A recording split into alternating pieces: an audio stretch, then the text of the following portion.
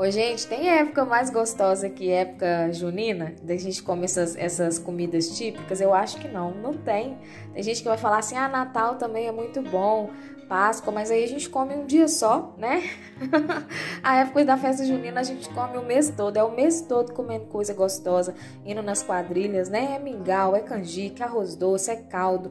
Nós estamos fazendo várias receitinhas aqui no canal, tá bom? Então assistam, tá? Tem todas, todas as receitas de época de festa junina tem aqui no canal. E hoje nós vamos fazer mingau de milho verde, de uma forma simples, prática e econômica tá bom? Você vai precisar de seis espigas de milho, tá? Aqui minha mãe, ó, lavou, tirou aqueles cabelinhos que vem do milho mesmo, que é normal.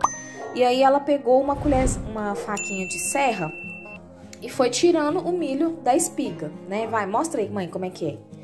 Milho cru, tá, gente? Tem gente que vai perguntar se o milho é cozido, o milho é cru, tá bom? Só lava, tira os cabelinhos e usa uma faquinha de serra para poder tirar o milho. Não tem erro. Tem gente que acha que isso aqui é a maior dificuldade. Fica perguntando: ah, Bruna, vou fazer com milho de latinha mesmo, porque assim dá muito trabalho, né? Não dá e fica com gostinho muito mais forte de milho. E é natural, né? Mas se você não quer ter trabalho, você pode fazer com, com o milho enlatado que dá certo também, tá bom? Ó, minha mãe, gente, gosta de fazer isso aqui. Pegar uma colherzinha depois que já tirou o milho e rapar, tá vendo? Que aí sai isso daqui, ó, que dá um gostinho mais forte ainda no seu mingau, tá bom? Viramos o milho dentro do liquidificador. O liquidificador da minha mãe, ele é aqueles grandão, minha mãe comprou um novo, ó que chique. Ele é, acho que é 4 litros, né mãe? 3 litros? Ele é bem hum. grandão, ó. Então vai caber tudo. Se o liquidificador for menorzinho, o que, que você faz? Bate de duas vezes, bom?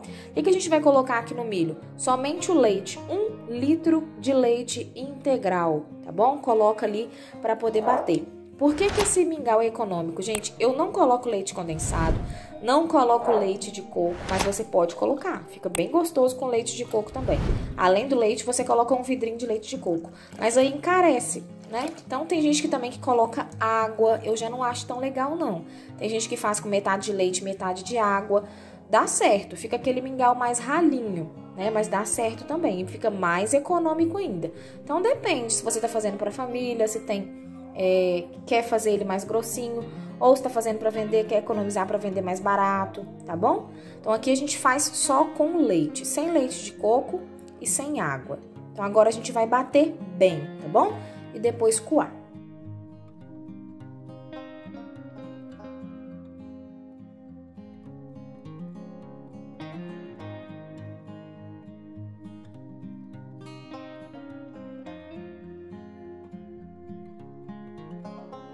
Ó, pra sair totalmente, gente, o que, que minha mãe fala de dica pra vocês? Coloca um pouquinho de água, tá vendo? E aí você continua mexendo e apertando, que aí vai sair totalmente.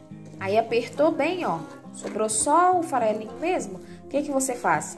Aí você pode colocar em outra vasilha para você poder coar o restante, tá bom? Para você peneirar o restante. Gente, olha só, colocamos já no fogo aqui o fogo mais baixinho, tá bom? E olha como é que rendeu. Rende bastante, tá? Se você quer que rende um pouco mais, o que, que você pode fazer? Bater com uma ou duas latinhas de milho enlatado também. Que fica mais barato e ajuda a render mais também. O meu milho tava mais clarinho, vocês viram? A espiga não tava aquela espiga amarelinha. Por isso que o mingau vai ficar mais clarinho também. Quando o mingau fica mais amarelinho é porque o milho tava mais amarelo, né? É, ali eu vou colocar uma caneca de açúcar, ó, tá vendo? E aí você pode colocar também, que vai dar certinho. Caso você queira acrescentar o leite condensado, aí você coloca só meia caneca de açúcar, tá? Porque senão vai ficar muito doce. Vai colocando e provando pra ver o seu gosto aí qual que é, tá bom? Vamos colocar também uma colher de café cheia de sal e uma colher de sobremesa de canela. E aí, assim, mingau de milho verde é igual canjica, igual arroz doce, democrático, né? Tem gente que coloca queijo parmesão ralado, que eu acho que fica delicioso. Tem gente que coloca hum, cravo. Tem pessoas que colocam erva doce, né? Comenta aqui o que, que vocês colocam, o que, que não pode faltar no seu mingau de milho verde, tá bom? Aqui a gente vai fazer o básico. Não vou colocar canela, que meu irmão não gosta. E não vamos colocar leite condensado, nem nem leite de coco, que é para não encarecer e vocês verem que dá para fazer um mingau de milho verde gastando bem pouquinho. Gente, essa caneca é do meu pai. Ela é do Galo, olha só, meu pai é atleticano. Qual que é o time de vocês? Comenta aqui, nós somos de Belo Horizonte, né? Capital aqui de Minas. E aqui os times são, maior parte, né? O pessoal é Cruzeiro e Atlético. E meu pai é atleticano. Já eu não sou de assistir muito jogo não, sabe? Mas se vocês gostam, comenta aqui se você gosta e qual que é o seu time. Gente, minha mãe pegou ali no armário, ó, corante pra alimento, né? Corante alimentício. Mostra aqui, mãe. Aquele ali é o amarelo gema. Muito comum usar em confeitaria, padaria, para várias receitinhas. E aí no mingau de, de milho verde, que não é verde, é amarelo, você pode colocar umas gotinhas para ficar com uma cor um pouco mais puxadinha, principalmente se você estiver fazendo para vender, né? Que aí fica mais bonito ainda, chama mais atenção. Se você não gosta, gosta dessa cor mais natural mesmo, é só deixar assim. Coloca pouquinho, vai colocando, misturando, até ficar da cor que você gosta, tá bom?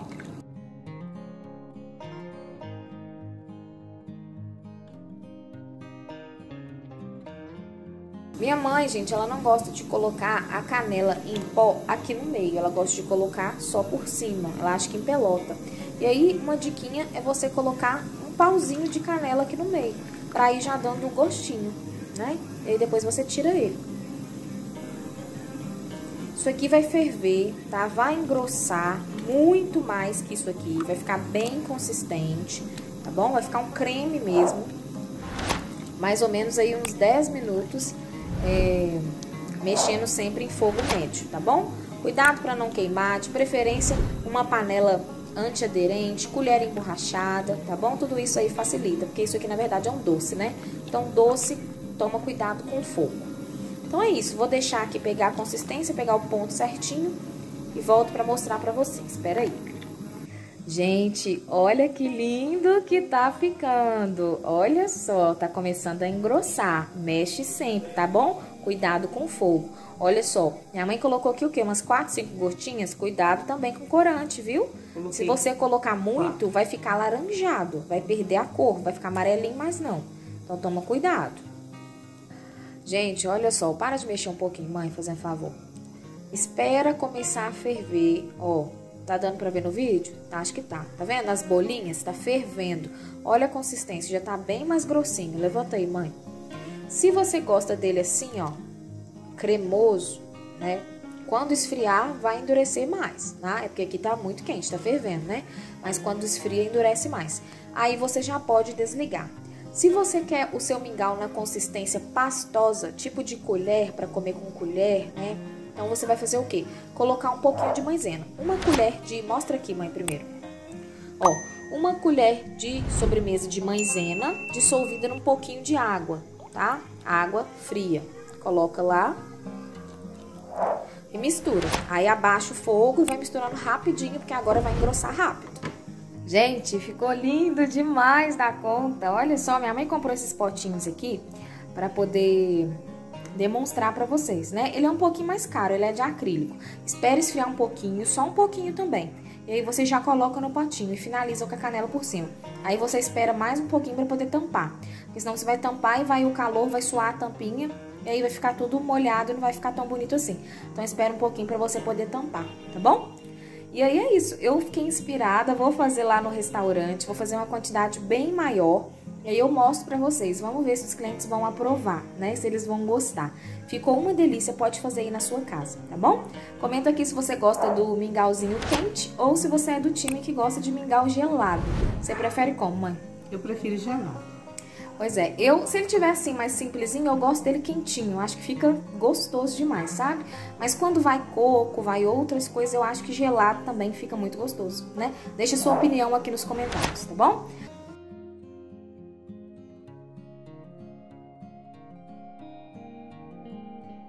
Bolo de hoje, gente, é super fácil, é de latinha, rende muito, é um bolo econômico, tá bom? E você pode fazer aí nas suas festinhas aí de São João, que o pessoal vai gostar bastante. Milho é muito típico, né, dessa época. Então, ó, nós vamos colocar no liquidificador, não precisa de batedeira, tá bom? Então, todo mundo consegue fazer. Seis ovos inteiros com gema e clara.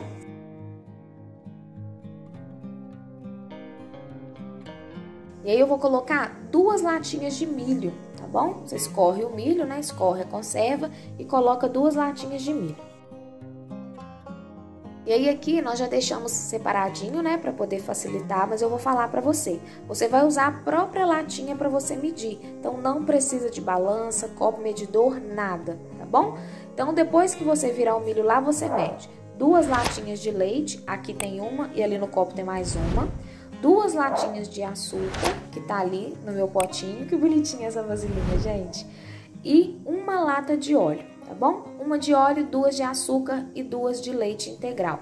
Coloca lá no liquidificador e deixa bater bem, mais ou menos dois minutos em velocidade mais baixa.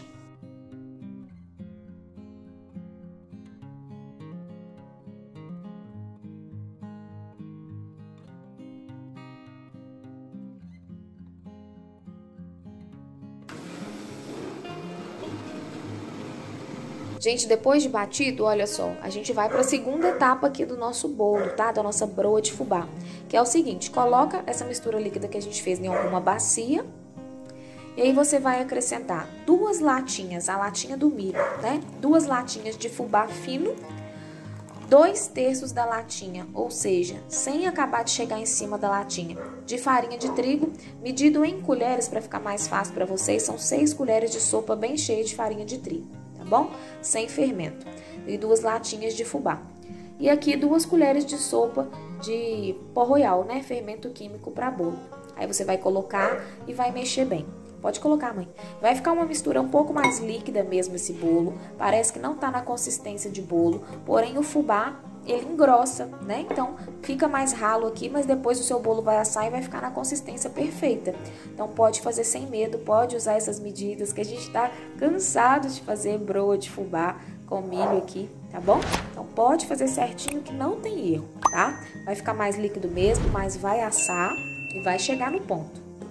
Ó, nosso tabuleiro aqui, gente, ele já tá untado, tá bom? Com manteiga, minha mãe polvilhou um pouquinho de fubá para ficar amarelinho. Você pode polvilhar farinha de trigo se você acha melhor também. Mas eu acho mais legal o fubá nessa condição aqui, tá bom? E o nosso forno também já tá ligado pré-aquecido a 200 graus. Vai ficar lá mais ou menos 40 minutos, tá bom? A 180, 200 graus, depende um pouquinho do seu forno. Como você já conhece o seu forno aí, né? Aí você que sabe. E aí, sempre antes de tirar, faz o teste do palito, tá bom? Se sua forma for menor e mais alta, pode ser que fique um pouquinho mais de tempo e você tenha que abaixar o fogo. Aí essas coisas aí depende, tá? Agora nós vamos colocar um pacotinho de queijo parmesão ralado, que é opcional, né? Se você não gosta ou não tem o ingrediente, não vai fazer diferença, seu bolo vai dar certo a mesma coisa. E o fermento. E aí vamos misturar e vamos virar aqui na nossa forma e vamos levar para o fogo. E aí eu volto daqui a pouquinho já com o bolo prontinho para mostrar para vocês.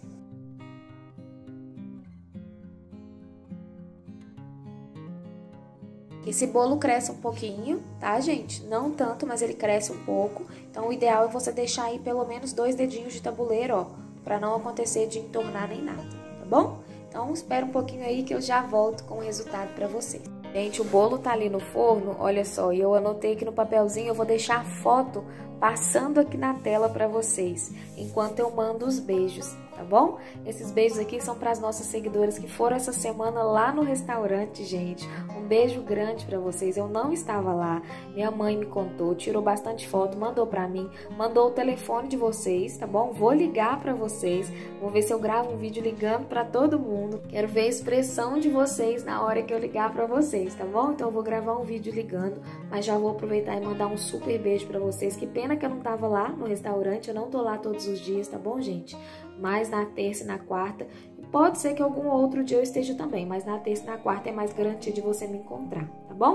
Então, ó, a Eunice veio lá de São Luís do Maranhão. Super beijo pra você. Minha mãe tirou fotinha com você. Olha só, achei lindo demais. Dona Catarina do bairro Mangabeiras aqui em BH não quis tirar foto. Dona Jurema e Dona Boêmia de BH também, também foi lá no restaurante almoçar conhecer. E Dona Donizete, da cidade do Paraná, em Curitiba. Super beijo para vocês, viu, gente? Obrigada pelo carinho, pela atenção, pela consideração, por ter tirado foto, tá? Um super beijo no coração de vocês. Gente, prontinho, até que enfim. Ficou exatamente 40 minutos aqui no meu forno. Meu forno não tá muito bom, o que, que a gente fez? Aumentou um pouquinho, deixou em 240 graus. E aí depois de passado mais ou menos meia hora, eu peguei e abaixei, né? Pra ele não queimar por cima, mas para ele acabar de assar. Então aí você vai vendo aí o seu forno, tá bom? Ó, ficou 40 minutinhos e ele ficou perfeito, o cheirinho tá incrível. E agora eu vou partir um pedaço para vocês verem como é que fica, tá bom? Gente, olha que lindo que ficou. Olha aqui a altura desse bolo. Eu não sei se tá dando pra ver, não. Porque de cima, né, parece que tá torto, que não tá alto. Tá fofinho e enorme, tá bom? Bolão pra família toda, pode fazer, tá? Olha, gente, a cor desse bolo, o cheirinho e o gosto, só se vocês fizerem pra vocês sentirem, né? Agora a cor e a textura, ó, aperta aí, mãe, eu consigo mostrar pra vocês. Tá um cheirinho de milho aqui incrível, tá bom? A gente virou aqui pra ficar mais fácil pra partir, porque o bolo ainda tá quente, né? Eu tô mostrando pra vocês. Mas não precisa de virar, pode partir no tabuleiro mesmo, tá bom? E consumindo aí do jeito que você quiser na sua casa. Olha que bolo lindo, gente, que cor mais linda. Eu amo bolo de fubá. Comenta aqui qual o seu bolo é, favorito. Olha só, gente, que lindo que ficou. Uma broa dessa, hein? Olha só, com um cafezinho passado na hora, tem coisa melhor? Desconheço. Ó, nas barraquinhas a gente costuma ver um pedação grandão, né? Desse jeitinho aqui. Embalado no papel alumínio, geralmente, pelo menos aqui em BH, quando tem quadrilha, né, e vende broa, é assim que a gente vê. É, tem pessoas que embalam na palha também, né? Fica super legal. Então é isso. Espero que vocês tenham gostado da nossa receitinha.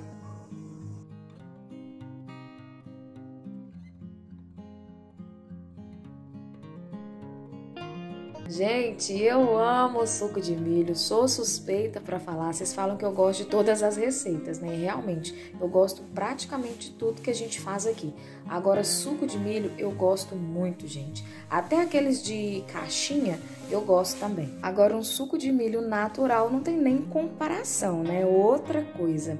A gente tomava muito quando a gente ia fazer compra cedinho no Ceasa, né? Lá tinha uma lanchonete que vendia suco de milho. A gente via o pessoal lavando, tirando o milho assim na hora, sensacional, muito bom, tá? E é caro, viu, gente? Não é barato, não. Então, aprende para você fazer aí na sua casa, tá?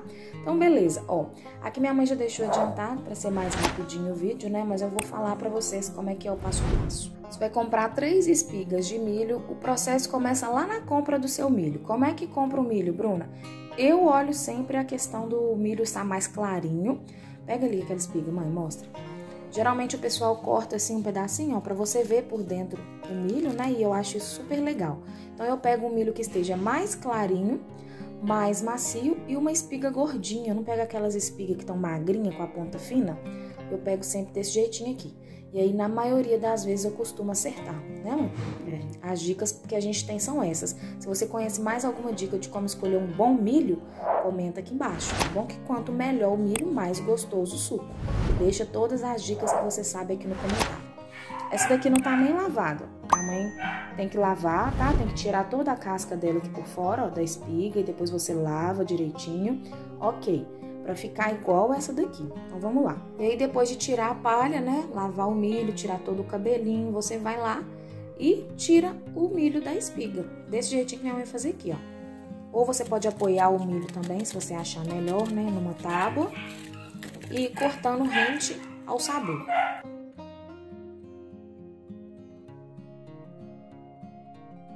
Gente, feito isso, a gente vai colocar no liquidificador, tá bom? Então, aqui tem três espigas de milho e se você pesar, vai dar aproximadamente 350 gramas de milho, tá bom?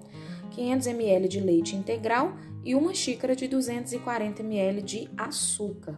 Coloca tudo no liquidificador e bate bem batidinho.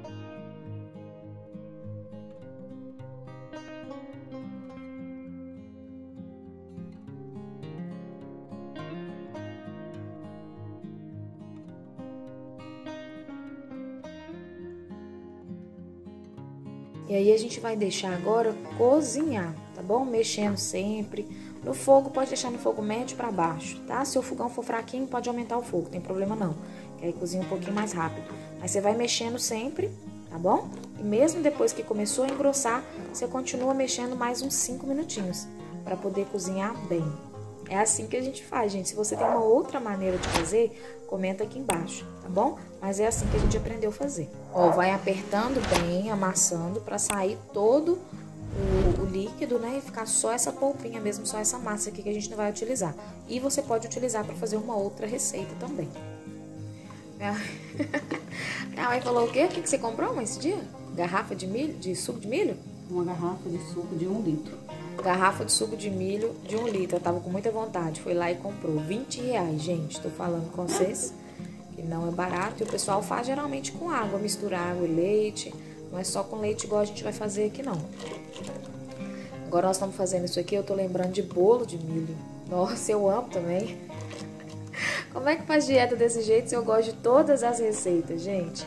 Bolo de milho é bom demais. Eu acho que a gente só fez aqui no canal bolo de milho de latinha. Que é muito mais prático, né, gente? Tem nem comparação.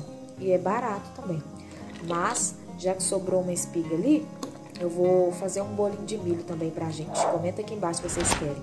Que aí eu faço natural. Nossa, aí é outra coisa, né? Fica gostoso. E fácil de fazer também, não é difícil não. Meus amores, olha que lindo, gente. Aí, assim, não, é, não demora não, é rapidinho, tá bom? Depende um pouco da potência do seu fogo aí também. Aqui a gente aumentou o fogo, foi mexendo bem rapidinho, ó. E aí, já fica nessa consistência aqui, um cheiro maravilhoso, uma cor linda, tá? Aí você desliga o fogo, cuidado para não queimar. E agora a gente vai deixar esfriar, tá bom? Depois que tiver totalmente frio, aí a gente vai dar prosseguimento aqui na receitinha, tá?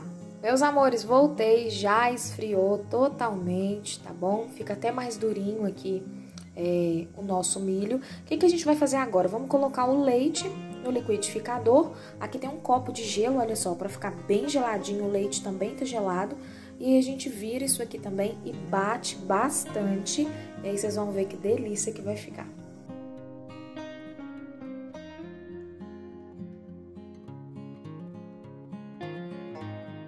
Gente, olha só, depois de bater bem, meu Deus do céu, que delícia! Ficou bom demais da conta. Pode fazer que não tem erro, tá bom? Eu acho que eu esqueci de falar a quantidade de leite que a gente colocou agora da segunda vez. Eu usei um litro de leite no total, meio litro antes e meio litro agora.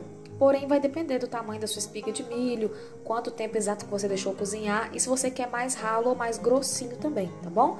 De 500 a 700, 750 ml de leite na hora de bater agora, vai ser o suficiente e você vai dosando aí a quantidade que você quer, tá bom? Eu bati com 500 ml de leite bem gelado, ficou sensacional.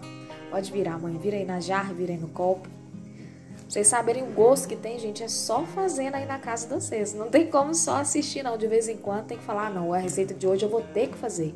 E aí vocês fazem, que eu tenho certeza que vocês vão gostar. Olha isso aqui, gente. Você tá doido? O que, que combina com esse suco de milho aí, mãe? Um pastel? Pastelzinho. Pastel de queijo, né? É. E... Acabou, tá pronto, é isso. Gente do céu.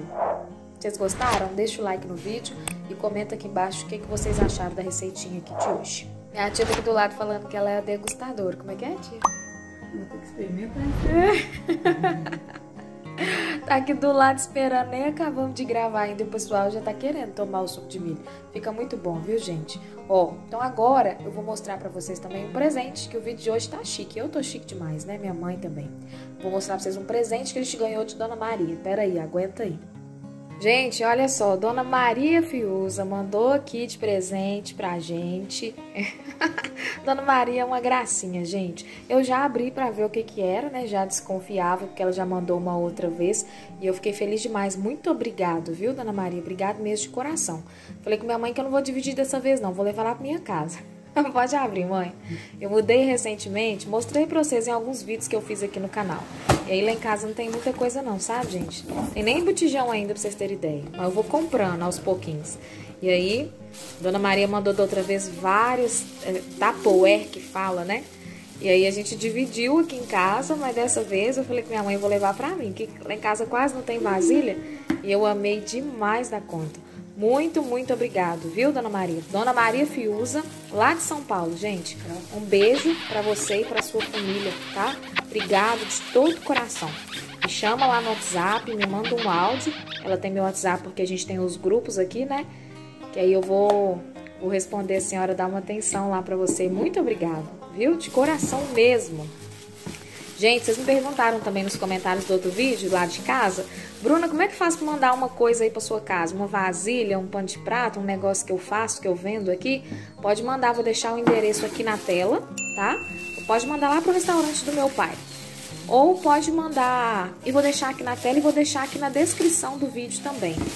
Então pode mandar lá pro, endereço, pro restaurante do meu pai, vou deixar o endereço aqui na tela e na descrição aqui do vídeo também, que eu recebo com o maior carinho, tá bom?